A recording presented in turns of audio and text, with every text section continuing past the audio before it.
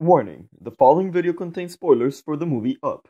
If you haven't seen the movie yet, what are you doing? Pause this video. Go, watch it now. Super highly recommended. Don't worry, it won't let you down.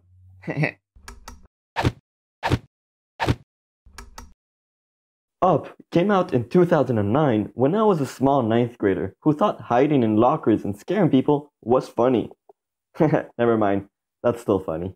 This is the movie that got that tiny prepubescent teen into animation, and to this day, I watch it and still enjoy it for so many reasons.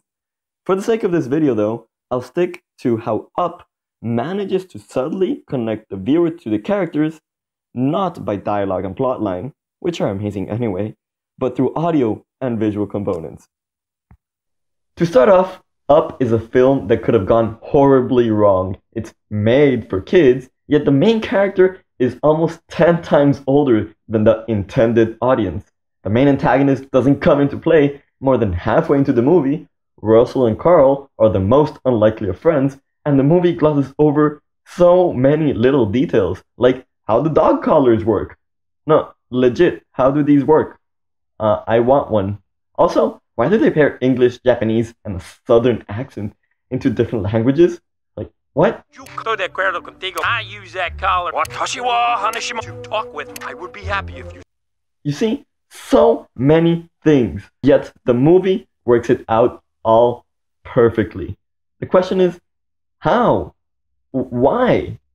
Let's start with the first act of the movie. You probably noticed that it is an emotional roller coaster. It can even get drunk men crying. Thanks BuzzFeed for the amazing content. If you pay close attention, Ellie has zero lines as a grown-up. Yet by the end of the scene, there are more tears to go around than in a One Direction breakup concert. How? Well, for this part, the music is G. Eh, sorry, key. Ellie's character has a theme tied to her. It's this one.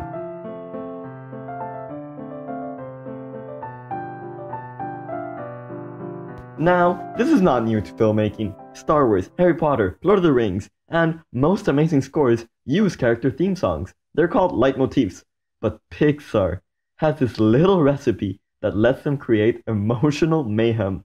What they do is they play this theme song as Carl and Ellie build a relationship. And the way you get to know them as a couple is through Ellie's theme playing over their happy and sad moments. Here it is, when they first meet each other when they are kids. My name's Ellie. Here it is again, soon as they get married.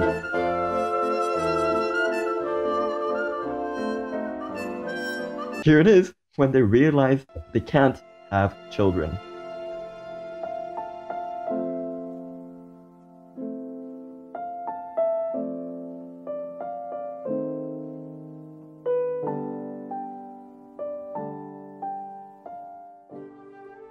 Here it is again when they rebuild their life and grow old together.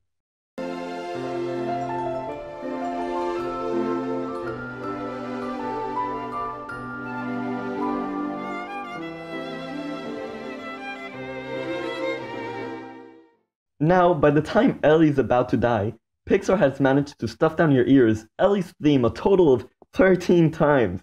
This creates a subconscious connection between Ellie, Carl, and that song. And now all Pixar needs to do, those manipulative psychopaths, is to juxtapose a very sad moment with a song filled with memories from their relationship.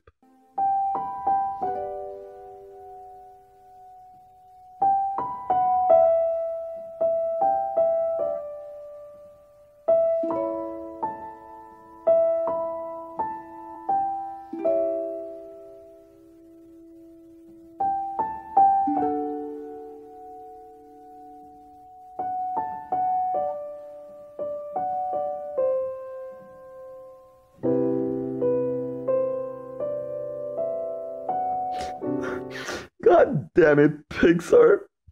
Anyways, to further cement this as Ellie's theme, I wanted to touch on one more amazing use of this song.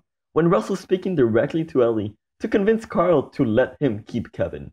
Just listen as Russell speaks directly to Ellie and she responds using her theme song. Sheesh, can you believe this, Ellie? Ellie? Uh, hey Ellie. Could I keep the bird? Uh huh. Uh huh. She said for you to let me. But I told him no. Uh, uh, I told you no. And I find that beautiful. Anyways, I digress. On to the visual cues. Up is more than just music and a storyline. It's an animated movie. Hence, it needs animation. And they need to give shape to their characters. No, really, they just give them shapes. Look, Carl's a square, and Ellie is a circle slash a round shape. Yes, kids, take out your 64 packs of crayons, your wide line notebook, and take some notes, because we're talking about shapes. Pixar is not new at this, but instead of me explaining, why don't you listen to this actual conversation from John Lasseter and Pete Docter, two of the mini big boys at Pixar? Hey, so, uh, Pete, we need two lovable characters that need to be friends. Oh, oh, I know, I know. How about we make this one based on a square and this other one based on a circle? Oh, this is a great idea, Pete, but, uh, the people upstairs are asking for another movie. We need two more. Oh, oh, oh, oh, how about a square and a circle? Uh, we already. Look, look, a circle and a square. Uh, well, uh, yeah, it kind of worked out pretty well. You have any other ideas? Look, look, look! I made two new lovable friends based on a square and some curved parts. Okay, uh, Pete, these are getting a bit out of hand. Why don't we try to think outside the the box? How about we make this robot like a box and this other robot with circular shapes? God damn it, Pete, you're good at this. So, as you can see, Pixar's pretty good at that shapy character design, and it works. But Up is different. Rather than basing the characters on shapes, they want you to associate the shapes with the characters. Pete Docter, the guy from before, and the director of Up, basically became a kindergartner playing that shape and hole game on a six pack of Red Bull. Okay, um, um, quick, divide the bedroom in two. Ellie side, round lamp, round nightstand, round, round. Okay, uh, Carl side, let's go. Square lamp, square nightstand. What else? Square, square clock. Square, square, square. Okay, now, the living room. Okay, guys, quick, quick, quick. Ellie's sofa. Same thing. Round, round, round, round. Okay, um, Carl side. Now, same thing. Square, square, square, square. Pete, you've done it again. But to serve as an example, look at this scene where Carl is taking his Charlie in the Chocolate Factory elevator thingy down the stairs. At first, this may seem like comic relief, but take a closer look at the pictures. Every picture Carl is in, square, and every picture Ellie is in, round shape. This scene takes an entire 45 seconds, and in the meantime, you are subconsciously associating these shapes to the characters. I can see you saying, Josi, this is a nice little trick. This is like English class where the teacher suddenly thinks that because the curtain is blue, that everybody loves the ocean. If only we had some recordings of the director of Up explaining this exact concept. Well, early on, we start the designing process, which is mm-hmm. kind of an extension of the storytelling. You know, mm-hmm. everything down to the design of chairs or costume or whatever has uh, a storytelling aspect to it. She is very rounded shapes, mm-hmm. and so a lot of things associated with her are these circles. Mm-hmm. Carl is more square. And so, even in that very shot you just mentioned, mm-hmm. uh, pictures of Carl will be in square frames. Mm-hmm. Pictures of Ellie are in circular frames. Mm-hmm. If there's a picture of the two of them, it'll be like a mat that's circular with the square frame or something like that, mm-hmm. just trying to blend those shapes. Okay, Pete, this is just for fun, right? It's not like you're actually going to use these shapes to subtly plug the storyline, right? And use those to uh, hopefully subtly plug the uh, story. God damn it, Pete.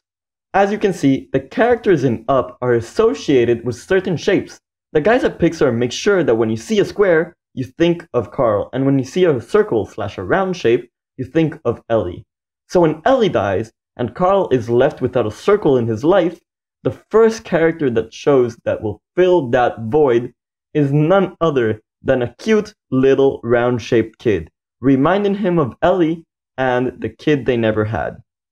The Ellie badge.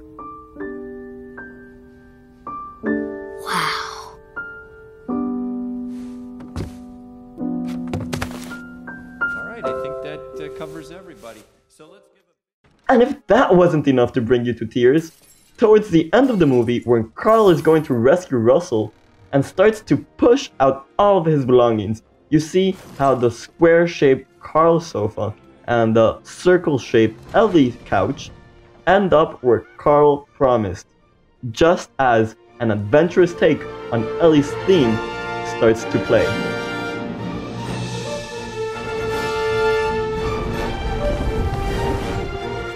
That right there is why I love Up. Not only for its amazing plotline or its funny moments, but because it manages to connect the viewer and the characters through music and through shapes. And that is how you show and not tell.